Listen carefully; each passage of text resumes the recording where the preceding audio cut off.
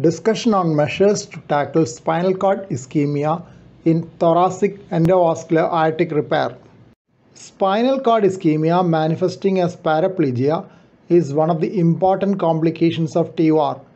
Avoiding blockage of left subclavian which gives branches which eventually supplies the spinal cord is a preventive option in elective setting.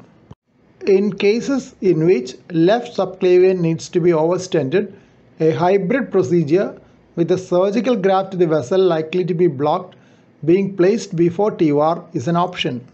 Pre-procedure drainage of CSF can be useful as it has been proven useful in aortic surgery for protection of spinal cord. CSF drainage is an immediate option for reversal of paraplegia if it does occur unfortunately.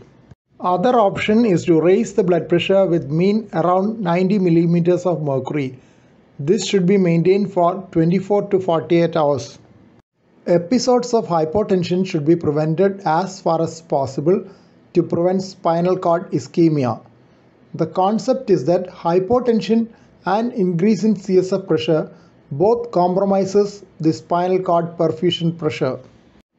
Staging of procedures has been developed to reinforce collateral blood flow to the spinal cord when there is a high risk of spinal cord ischemia. Classical staged procedure is two-step repair with delayed implantation of aortic stent grafts. Other preventive methods are leaving an endoleak for short-term salvage of segmental artery perfusion, perfusion branches, delayed bridging stents, and open branch technique. Perfusion branches are custom made and provide temporary endoleak to perfuse the aneurysmal sac and the segmental arteries. These are closed 1 to 2 weeks later.